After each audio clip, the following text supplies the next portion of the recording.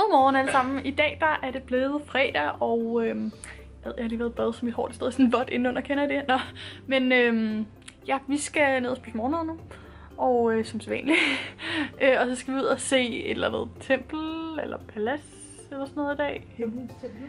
Himlens, det himmelske tempel, eller sådan noget den stil. Det ved jeg ikke. Øhm, men i hvert fald, nu skal vi lige ned og have noget morgenmad, og jeg glæder mig.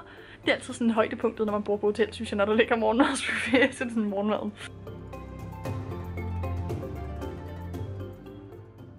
Vi er lige nu ude at gå, og det er koldt i dag, så jeg har min nye hue på. Øh, og det er mega sådan diset eller sådan toget, det ved jeg ikke, om Men vi går lige ud i sådan lidt, jeg ved ikke, sådan gammel Beijing, eller sådan det rigtige, eller sådan, jeg ved det ikke. Det er i hvert fald ikke sådan vildt spændende herude, men vi skal ud til det her tempel. Øhm, ja, der er ikke sket så meget andet, end at vi har gået. Og der er mega meget larm alle steder, så det er ikke sådan rigtig lige til at sådan fortælle jer, hvad der sker. Men der sker set, sådan set heller ikke sådan vildt meget spændende endnu.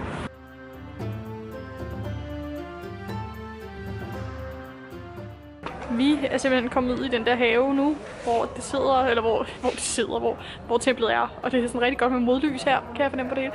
Men jeg vil bare lige vise loftet, for det, det er helt flot. Prøv at se. En god vinkel. Mm. Men det er flot i hvert fald. Men øh, vi skal lige sådan ud til templet. Der er sådan en masse ting, der skal igennem. Eller tror jeg først, tror jeg nok. Jeg ved det ikke rigtigt. Det er sådan, jeg er totalt sådan med i dag. Jeg ved ikke lige. Jeg tror det er fordi, vi sådan har gået så meget og set så meget. Og jeg ved ikke. Jeg sådan, ja. Nu har jeg fundet det der himlens tempel, hvis nok. Det er sådan, jeg ved ikke, høstens tempel eller sådan noget den stil. Jeg får lige lært lidt i dag, åbenbart. Men øh, ja, det er i hvert fald templet. Det er rundt. Meget optimistisk. Og vores turguide, han lærte os noget, og det sådan, grunden til det rundt, hvis nok, ikke? Det er fordi, at det så er, øh, er himlen sådan med døden og sådan noget der, og så alt det der, det er ligesom sådan jorden, og sådan livet, de firkantede, ikke? Ja, firkantet og så rundt. Så det var et eller andet sådan kinesisk ordsprog eller sådan noget den stil.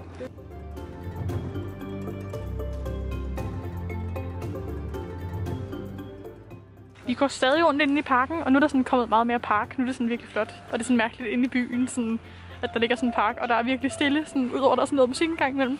Og det er stadig pissekoldt, så jeg pakkede pakket helt ind. Men sådan er det jo. Men øh, det er rigtig flot i hvert fald, og vi har set en masse sådan af de templer og paladser, og jeg ved ikke, hvad det alt sammen er, men ja.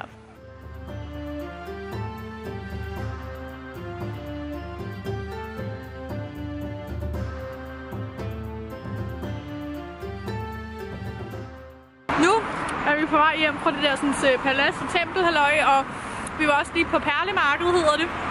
Øhm, som også ligesom er sådan et, et marked, hvor de sælger alt muligt mærkeligt, ikke? Øhm, og så sådan, ja. Så det, det var sådan lidt anderledes, for det var sådan noget, hvor de hiver en og sådan der, hallo, kom og køb. Sådan noget. Øhm, men nu er vi i hvert fald lige på vej hjem igen. Jeg har smidt hue, så nu er jeg sådan et huehår. Men det er sådan mega nederen vejr. Det er sådan mega disset, og det regner nærmest. Og sådan, øh, øh, men nu skal vi i hvert fald bare hjem af, tror jeg. Så der er en lidt lang gåtur igen. Vi er tilbage i vores område nu. Og det her, det sker, kan I nok fornemme, fordi det larmer helt meget. Der er musik, og jeg ved snart ikke hvad. Men øh, nu skal vi bare i supermarkedet, og så tror jeg, vi skal hjem igen. Fordi ja, det regner, og mit hår er bare sådan noget med. Øh, og vi er alle sammen lidt trætte. Vi er tilbage på hotellet. Eller det er været et stykke tid. Klokken det er sådan det er de syv eller sådan noget, og mit hår og makeup efter det der regn. Det var altså ikke godt nok. Vi gik i hvert fald lige ned i supermarkedet, da vi kom hjem. Og øh, det er sådan, det er vores, jeg kan sige, vores hotel, det ligger sådan i sammenhæng med et center. Øhm, så vi gik derned, og de fik shoppet det sidste agtigt. Og øh, nu skal vi ned og spise noget aftensmad. Vi skal ned på den der, øh, vi var på sådan foregårs eller sådan noget, jeg kan faktisk ikke huske det. Øh, hvor vi fik noget sådan nudelsuppe øh, og ris og sådan noget, og det var rigtig godt, og det var billigt og sådan noget, så der tror jeg bare, vi går ned igen, fordi det er sådan i centret, så det er dejligt nemt. Øh, så ja, det er sådan set bare lige update på, hvad der sker nu. Det her make-up, det kunne være, at de skulle fjerne det, inden vi skal ud og spise.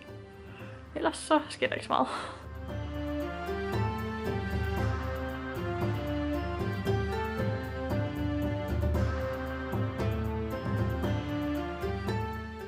Vi er tilbage nu, efter vi har spist. Klokken er faktisk 9 eller sådan noget den stil. Øh, Vi fik mega gode nudler, det så I nok også. Øhm, på sådan, ja, det sted, hvor vi havde før, det sagde jeg også, inden vi tog afsted. Men så gik vi lige ned i øh, og, sådan, og shoppede lidt bagefter. Øhm, så det tænkte jeg lige, at jeg ville vise, hvad jeg havde købt igen. Det var ikke særlig meget, men det var lige lidt.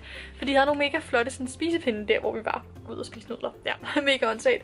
Så vi fandt dem her der, øh, der minder sådan rimelig meget om. Jeg tror næsten, det er dem. Øhm, til sådan 20 kroner per pakke eller sådan noget. Så sådan to pakker skulle jeg selvfølgelig have, fordi at spisepinden, det har man da brug for.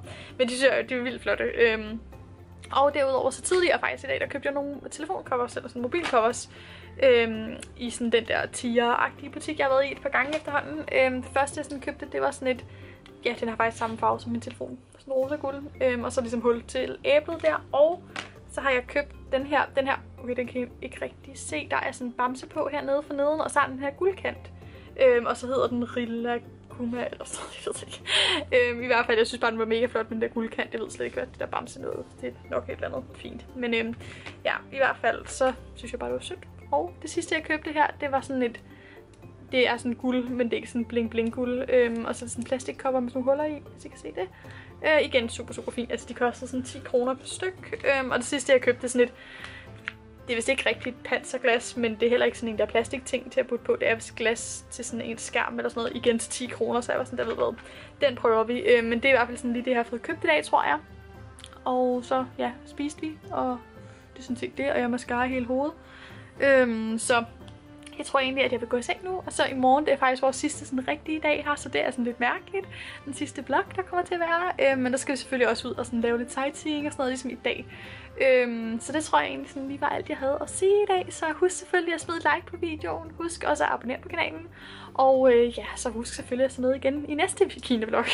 Jeg ved ikke lige, hvad jeg sådan siger. Kender I det, når man sådan har bare sådan ting, jeg siger det alt for meget, og så til sidst, så ved jeg faktisk ikke rigtig, hvad jeg siger. Det, sådan, det ligger bare, ja, man skal ikke begynde at tænke over det. I don't know. Jeg skal i hvert fald tænke nu, jeg er super, super træt. Så vi ses igen. Hej.